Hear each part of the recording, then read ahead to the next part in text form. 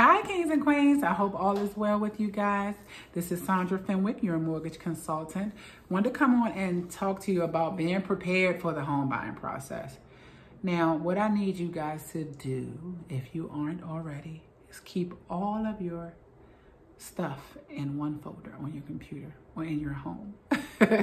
I had a young lady come to my office and she had folders, manila folders with all of her things. And I'm talking about they were so nice and neat. This was my best client ever. When I say best client ever, I mean it.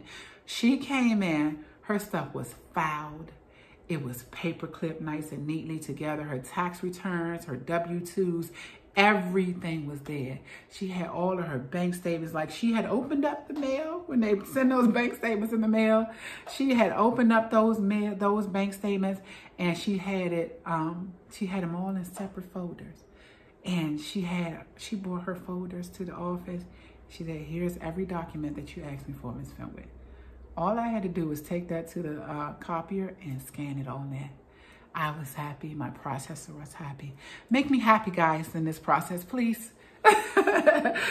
be organized. And a lot of things, a lot of these things are electronic right now. So when you get your taxes done, your tax preparer is normally going to email you a copy of your digital um, tax return, unless you have an old school one that still does it by hand.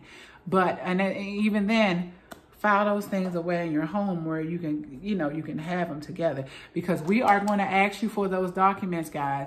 We need your tax returns from the last two years and your W-2s for the last two years.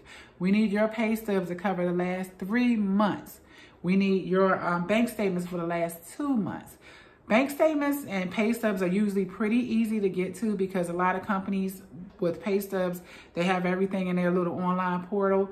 You can go on. Sometimes um, you may change jobs, so maybe you want to take the extra step, extra step. If you know that you're about to buy a house, go on every week. Download a copy of your pay stub into a folder. That's what I do. Um, download a copy of your pay stub into a folder on your computer so you can have all that stuff neatly filed. So when it's time for you to start your application and you uh, we ask for those things, you can just upload it, boop, boop, boop. It's all there for you and, and, and filed neatly. So good record keeping is number one because they I had a client that had to buy um, a couple days ago, they had to buy a certificate of insurance from their HOA. And um, I sent them a copy because they paid for it, of course. And um, they were like, well, what am I supposed to do with this? Keep it because you never know when you go to refinance, they might ask you for a copy of that certificate. File it in your home documents on your computer. Even if you get, once you get those, um, the copy of your documents, once you go to closing, they're going to give you paper copies in a big folder, nice fancy folder. Put that up but you can also ask your um, whoever you did your closing with to send you an electronic copy. Keep that stuff. Keep that stuff filed away and neat. So when it's time to take to handle your business, you'll have that stuff. So thank you guys for listening. Have any questions for me about record keeping? You're ready to start your process? Give me a call. You have my cell 301-326-7555. DM me. Leave me a comment below. Thanks, guys. Talk to you soon. Bye.